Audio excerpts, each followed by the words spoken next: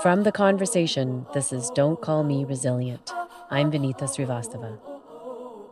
So, this idea of resilience, we use that and they become trapped in that idea because they can come back. So, there is that fear I have about resilience and not enabling the policies and programs that we have to make it possible for them to be successful. In this episode, we're going to explore the impact of systemic racism within the school system. Even before COVID, education advocates were sounding the alarm about the future of racialized children in our schools. They said unequal education opportunities and deep seated systemic racism were holding children back. Our guests today are longtime educators who say the pandemic has only deepened the divide. Carl James is a professor of education at York University and a former advisor to the Ontario Minister of Education. And Kulsoom Anwer is a high school teacher who works out of one of Toronto's most marginalized neighborhoods. I spoke to them both at the start of the school year about the injustices within the education system and how we might make small changes that could have a rippling effect in our communities.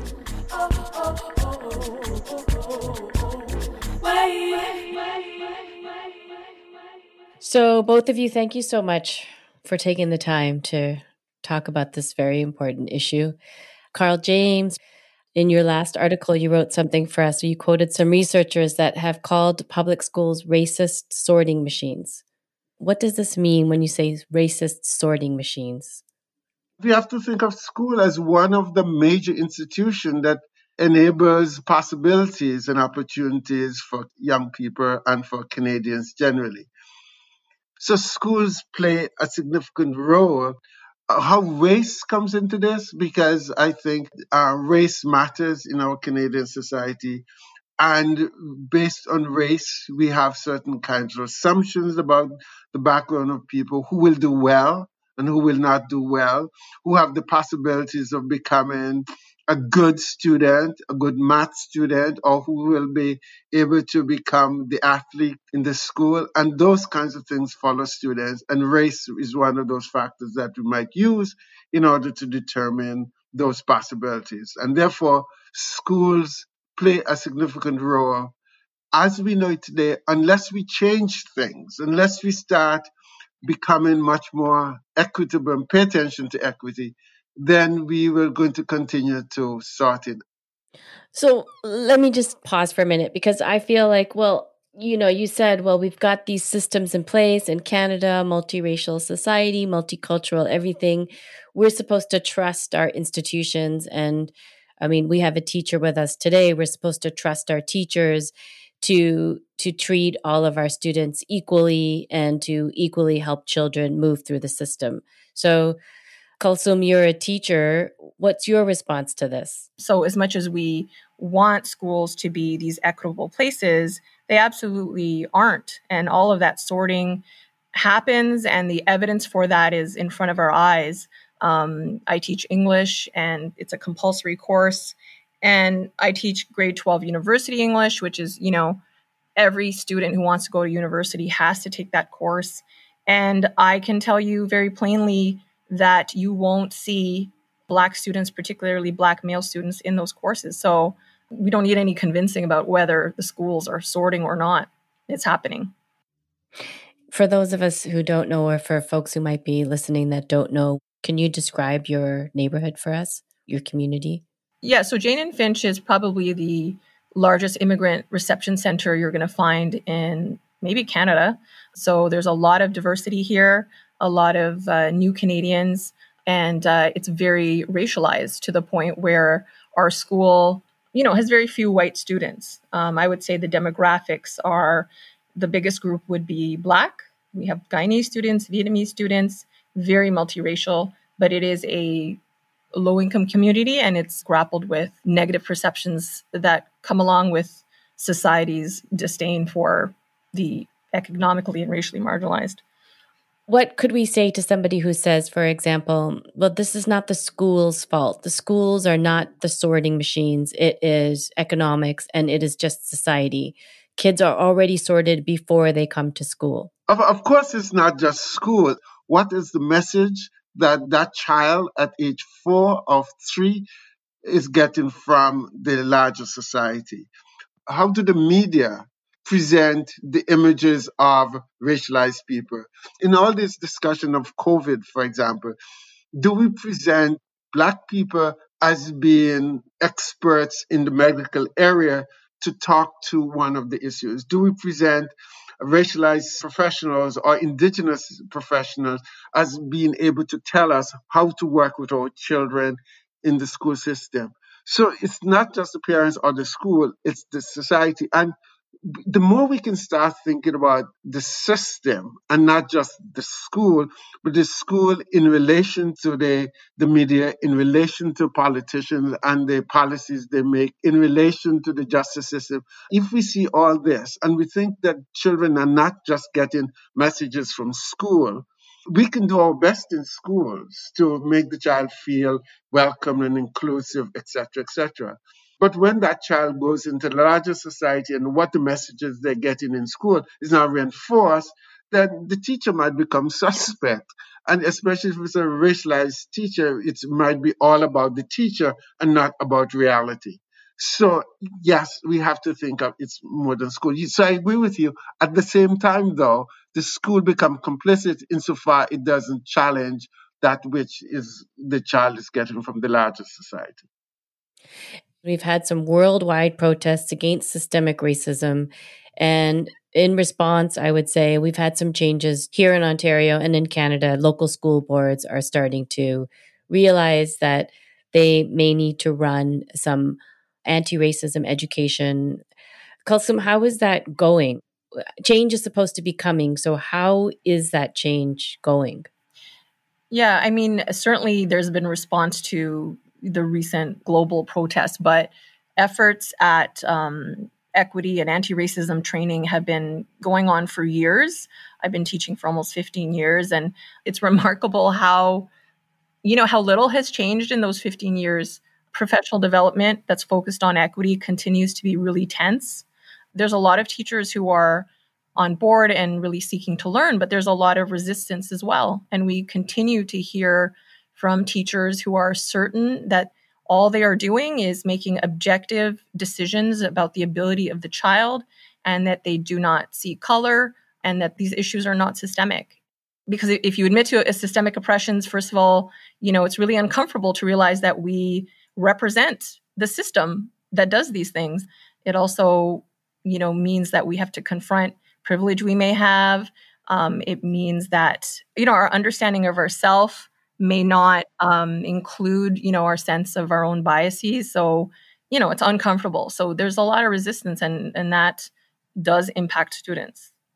So on a personal level for you like as a racialized teacher do you find these helpful? Do you find like you know may, maybe not on a systemic level but in you say in your own school do you find that these anti-racist trainings do you find them helpful I see some progress. I think they're necessary. I don't think that they they are not any kind of, you know, panacea. They don't instantly work, but you know, there's going to be no progress if we don't have these conversations. And I've seen some progress and also very little progress. I don't know if that makes sense, but it's both. I, yeah. I I agree that uh, there's some progress, but I'm not a fan of training on one level, having the conversation, as Kulsoom said, is absolutely, absolutely critical. And all of us, even the racialized teacher and the black teacher, all part of a system that he or she has to implement, you know, the testing, etc., etc. So we all are part of this. And therefore, we have to constantly remind ourselves that on one hand, we are having to challenge the inequity. At the same time, we reproduce that inequity. But it's for us to think how we're we going to try not to reproduce that inequity. And that's work. That's work for all teachers and for racialized teachers uh, as well. But training, though, sometimes I feel training puts the issue uh, in it's the teacher not teaching good enough, it's the curriculum, eh, it's about the teacher. And yes, the teacher is mm. Im- implicated in it, but it's more the system how the curriculum has been set and how it reproduces inequity, how the system of grading that comes from above, how the EQAO that we expect students to respond to. If we don't spend the time looking at that and paying attention to that, but just talking about our individual attitude and racism is reproducing this thing, then we're not going to go anywhere. And if we get people to think about uh, it's it's about them, and then people might spend their time trying to to shield themselves from that which they uh, they've been living with, and therefore never get to the system, looking at the policies, the program, and the legislation that reproduce the system. So, Carl, I mean, I, I hear what you're saying. You're calling for wholesale change. So, I'm wondering if it's taken us so long to get to this point. So, how do we start to undo this? I think the conversations, as Kulsoom said, that we all have to have. Within that conversation, we have to also think about how we are all implicated in a system of inequity. You know, I, I always think that it's not just the English teacher that brings biases to the work that he or she does. It's not just the social science teacher, etc., etc. It's not just the sociology teacher that has these biases. None of these are neutral. Science also has all these biases that bring. Let's admit that these structures inform the very questions that we ask, the references we make, or the examples we bring up in our curriculum. That has something to do with the experiences that as a person you bring to teaching, you bring to the understanding, and that's what needs to happen. How we are all informed by an institution that's informed by the society that produce certain kinds of ideas that we have and we work with. I, Carl, I keep seeing, I keep thinking about what you're saying that you don't think anti-racist training works, but in some ways, what we're hearing from Kulsoom on the ground is that the teachers, even in early education years, are streaming students, like as early as kindergarten. How do you think parents can help? Parents can, you know, especially privileged parents like I am, like we are, we need to, as parents, support diverse, multicultural neighborhood schools. You know, we need to divest from optional attendance. We need to stop shopping for high schools that are going to position our children in a way that's going to enrich them somehow. We should be supporting public education for all, a standard of education that is uniform for all. Um, I know, you know, these specialized programs in high schools are really popular with parents, and I'm a parent. They seem attractive. You know, it's going to expose my child, prepare my child for a particular career, or open their horizons. But what happens is a lot of schools are abandoned and streamed because you have the quote unquote strongest students leaving the neighborhood. No, I mean that's a very interesting what you're saying is this idea of strongest children leaving the neighborhood, right? That's the system yes. of the the charter system in the US or the you know, you get those special tickets to get out of your neighborhood to go into a different school. Yes. Um, that happens idea. in our neighborhood all yes. the time. Right. Yeah. Yeah. I, I, and how this is a really challenging question to me too because I'm also a parent and the question really is how can we convince ourselves that you know how can we convince each other to participate in this and what you're saying which is support public education but also to start thinking more collectively you know i always remember having this discussion with a, a colleague in sweden and she said to me you know this is not a dress rehearsal for my child. This is it. So, no matter what, we want our children in those communities, in those schools, getting the kind of education that will enable that child to live the fullest life possible, to realize their potential, and for us as parents to work and do uh, the best and expect the best for our children. What we can do then is expect and think that all parents would want the same thing for their children all parents are working to do that exact thing for, for their children and and they're just like me now then we have to look at our privilege. Of course, we're not going to want to send our children to a school that will not have the best uh, science lab, the best gym, the best opportunity. We, are going to want that for our children. Therefore, we should also think that those parents down the road want the same thing. And therefore, we, we're going to have to do some work with convincing education administrators, the policymakers, the politicians. We're going to have to do the work to enforce that university um, people as well become on board and make this a bigger issue and not just simply my child. And and so we can only do what we can because we want the best for our children, but we can uh, insist that the system, as it is, respond to everyone in a way that helps all children to maximize their potential. And I would argue that that is in the best interest of our children. You know, when we support a system that is equitable and and there's high expectations for all, that serves our children too and the society that they're going to go on to be part of. I, I absolutely. I like the idea it serves the society because if all children are able to realize their potential, and you can imagine how much money we would not have to put in prisons, how much money would not, we would not have to put into the healthcare system because of the mental illness, because of not being able to understand the appropriate use of medicine. So all of us benefit because we can now live the lives where we do not have to think about fear, we do not have to think of security because everybody is realizing the, the kinds of opportunities and potentials uh, that they have. Mm-hmm. Everybody benefits. I mean, Carl, you've been talking about this for at least 20 years. You talked about the Stephen Lewis report. You said that, you know, there's been report after report that has indicated the same thing, including many of your own reports that you've you've written that these schools are anti Black, they're anti Indigenous, they're systemically racist.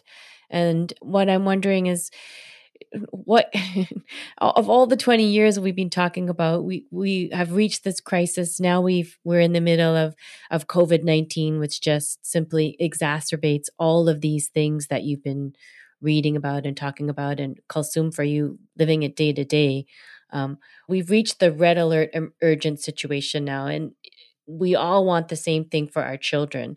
What are some of the things that we can do now to start pushing this ideal that you speak about? I'm thinking here of COVID that has exacerbated the problem. And children are not going to go to school. Some children are going to stay home. Uh, we, we know that certain groups of parents will be able to hire a teacher to spend five hours with their children and and bring the, the lessons to them and those children can advance. And I keep thinking of about the last six months or five months that children have not been having the necessary and the support or education possible. And we know that research shows that some students, especially students from low income households, after the summer they fall back in their education what's going on. So you can imagine how much of this how much of education especially for low income people are going to be exacerbated by covid. And how do you tell the parent not to hire the teacher that advances their children? And what do we do for those students who are not going to be advanced? And if we have not been paying attention to equity or really doing the job that we need with those students who need the extra support all along. What's going to happen after COVID? And how, how do you feel about this, Kulsoom? How do you keep your own? You we talked about the sphere of influence. You said you had a little. How do you keep it up? You've been doing this for 15 years. You know, every day. You you grew up in this neighborhood. You teach in this neighborhood. The way to keep going is, as you say, is to recognize that you have impact every day. And I would say that teachers in neighborhoods like ours have more influence and power in the lives of students than in in more privileged neighborhoods and what that means is you know you can have a greater impact with your you know your commitment to students and commitment to high expectations for those students so you know, obviously with COVID, all of the inequities that were already in place are just going to be exacerbated by the issues that Carl just talked about. The way to to deal with that is certainly to show up and it's also to examine what you're doing because a lot of, you know, the standards that we're we're so desperate for these students to meet, some of those standards are, are just problematic in the first place.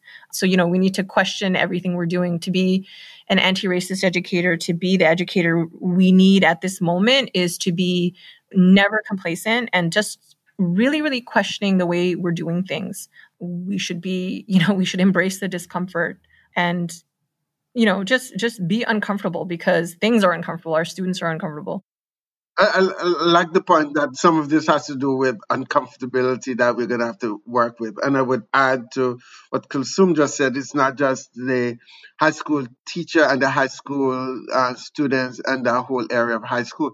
What, what the university is doing in order to also change the context, the messages that going out about uh, possibilities for students. Who are the students who are getting into university, and how university enabling their success as well. So it's we have to think about this at all levels of the education system. Carl, I'm so curious. You've been doing this for a long time, and education is absolutely the idea of education as an equalizer in society is it's very clear that you're very passionate about it. I'm I'm wondering how do you keep yourself going? One, you know, and how, yeah, go ahead. Hope becomes cruel if we do not also think about how these things that we construct as hope also have some built in inequities that might make it difficult for us to traverse. And so I am holding on to that idea of of thinking about the possibilities, but at the same time, don't want to see how the hope can be cruel without without putting the structural changes in place to make uh, whatever students have or what students want for their lives possible. I'm going to stop because that was just beautiful. Um, it's what Carl was talking about with the cruelty of hope is very much, in some ways, what what I was trying to say about this idea of, you know, stop calling me resilient. This idea that, you know, the, the a recent study about black students talked about 93 or some high percentage of black students very early thought that they would want to go to university and only about 60 or 61% of them thought they would eventually get and get a university degree. For the rest of the population, about 80% of the 82 or 80 something percent of them said they would go to university and 78% thought that they would actually do so. You know, so aspirations of the larger society of going to university was high uh, and and they eventually thought they would, but the black students had did not have that possibility of going. And, and in that same report, he also talked about the resilience of black students, how much they all felt that they they can come back after having difficulty. They can work hard, they can survive, they can and so the resilience of black students was seen as much higher in, in this in the statistics called when they asked those questions of whites and others, they, they did not have as much quote unquote resilience as the black students. So this idea of resilience, this idea of being able to confront the issues and become better is something that is talked about for racialized students and um, minoritized students and others. But we use that and they become trapped in that idea that of their resilience because they can come back no matter what we do. So the system never moves to make possibilities because the system can remain the same and their resilience will be able to bring them back to what we what they want. And so there is that fear I have about resilience and the cruelty of thinking about that group as resilient and not enabling them and not enabling the policies and programs that we have to change to make it possible for them to be successful. And so this is my fear about uh, the trust of resilience.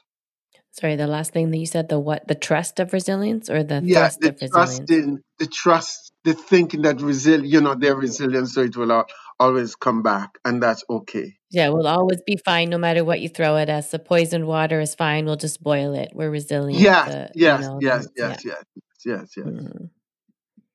How about you, Kulsoom? You you wanted to say something about resilience too.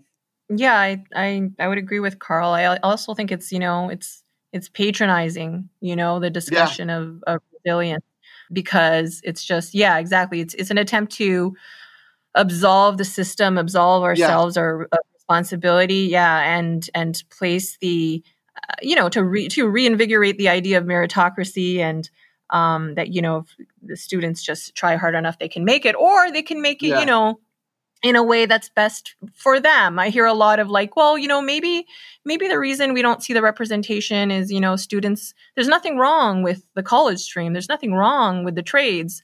And of course those Yeah. things are true. And when you bring up it's there's not nobody's ever said anything was wrong with any of those things, but it seems to be the right answer only for some children.